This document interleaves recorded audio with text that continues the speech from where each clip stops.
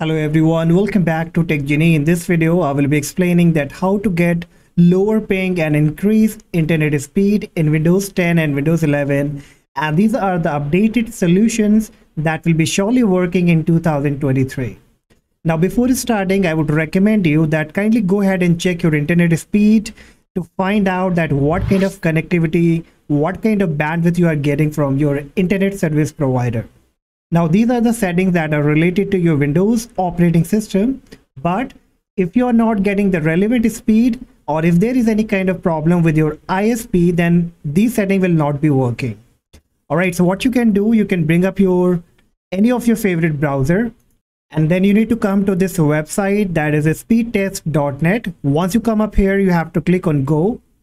And now this will be letting you know that what kind of download and the upload speed and along with the ping that you are getting. Now you can see that I'm getting a very good ping that is around 7 and the downloading speed is stable at around 4950 Mbps and the same I'm getting with the upload speed.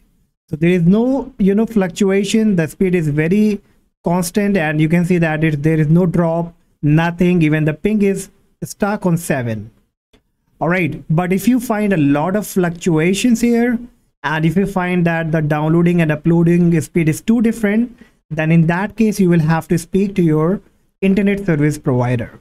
All right so just make sure with them.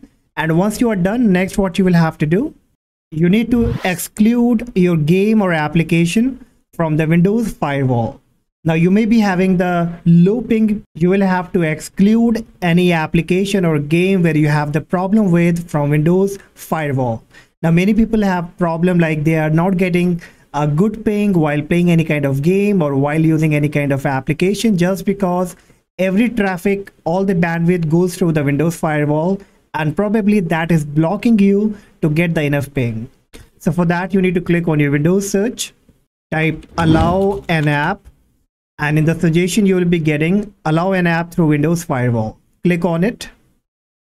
And now here you have to click on change settings then you have to look for the application or the game where you have the problem with where you're getting the high ping or low internet speed.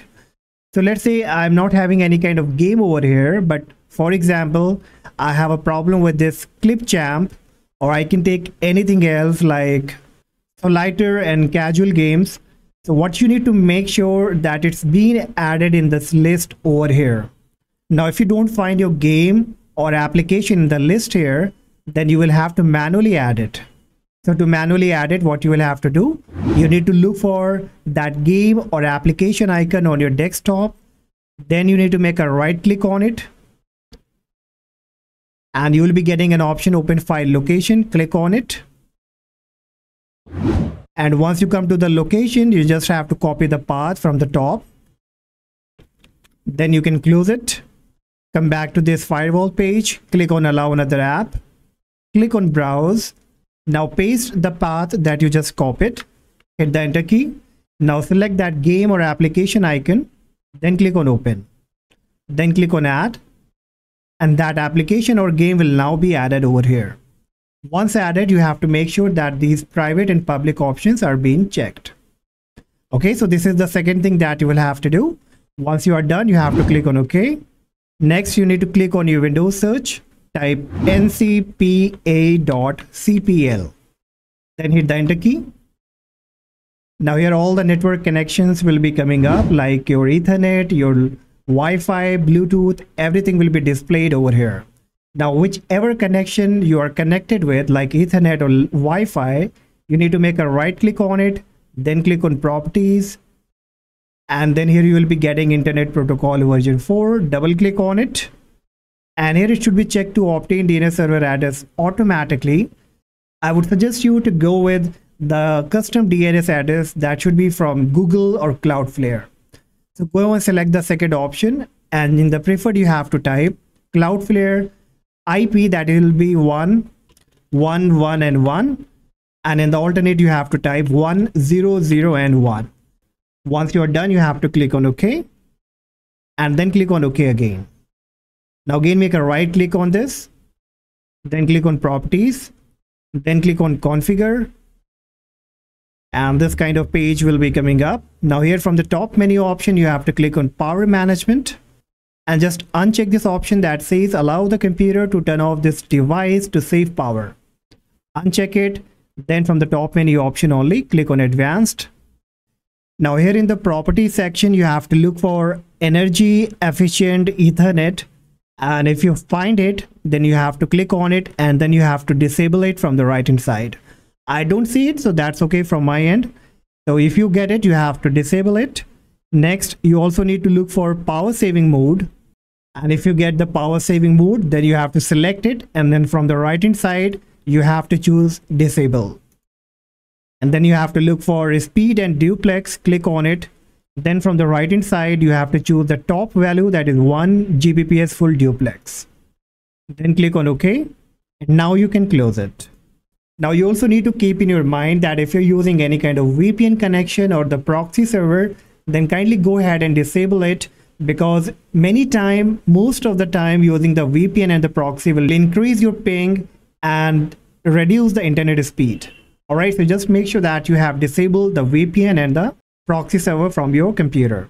So for that, you can click on your Windows search, type VPN, click on VPN settings. And if the VPN has been manually added, then you have to disable it from here. Or if you have been using any kind of extension from the Chrome or any kind of uh, software for the VPN, then you have to manually disconnect it. Same you have to make sure for your proxy. So click on your Windows search and type inetcpl.cpl hit the enter key. Now here from the top menu option you have to click on connections then click on LAN settings and assure that this user proxy server for your LAN has been unchecked. If this option has been checked kindly go ahead and uncheck it then click ok ok and close it.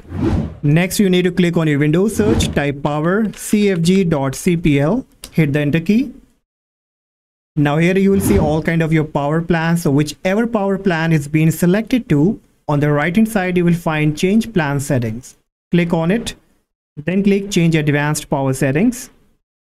Another box will be up. Now here you have to look for wireless adapter settings. Double click on it to expand it.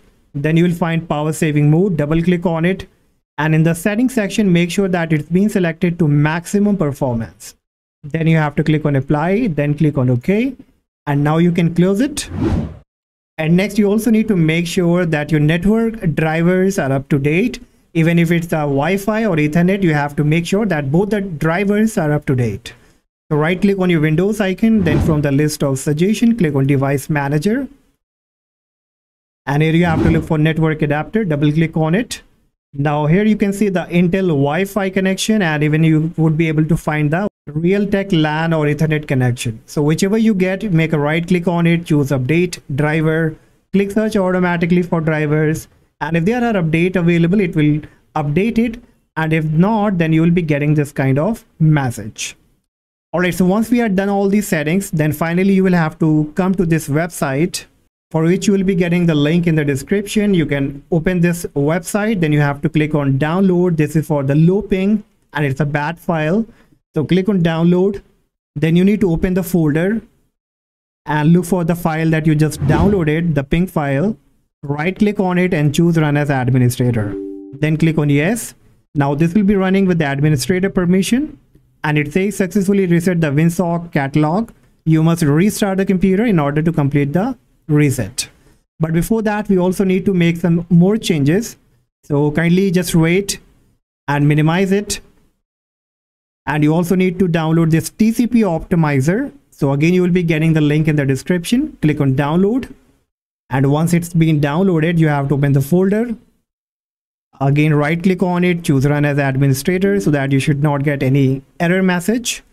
And once it comes up, you will see such kind of page. Now here, what you will have to do first, from the right hand corner, you need to click on custom. And then here in the connection speed, just drag this to the highest maximum value that is 100 Mbps. Once you are done from the top menu option, click on advanced settings. Now here, what you can do, you can just take a screenshot that settings I'm going to change or you can manually do along with me. So in the maximum connection per server settings, you have to type here 10. in the maximum connection per server also you have to type 10 then in the local priority it will be 4 then type 5 in the host priority? DNS priority will be 6 and this one will be 7 then we have TCP no delay. We can just choose enabled one. TCP DelAckTicks. We have to choose disable 0 and in the network memory and allocation in the size we just have to choose default one all right so this is the setting that you need to keep. So you can just take a screenshot if you want to and then finally you have to click on apply changes. Then click on ok and then it will say some registry changes may require a reboot to take effect. Would you like to reboot now? So finally restart your computer.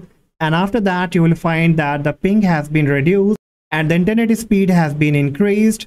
So just make sure go ahead and restart it. And after that uh, you will find a great change so that's all guys. Hopefully this guide will surely work for you. And if yes do not forget to like and subscribe. And still if you have any question any doubt let me know in the comment section. Till then take care. Bye bye